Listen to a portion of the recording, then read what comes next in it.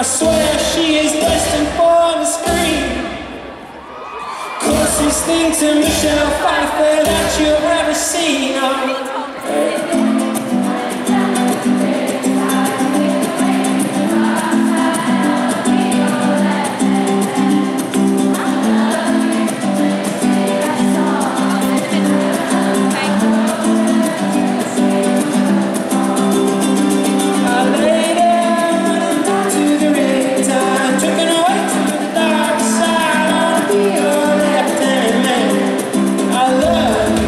Ele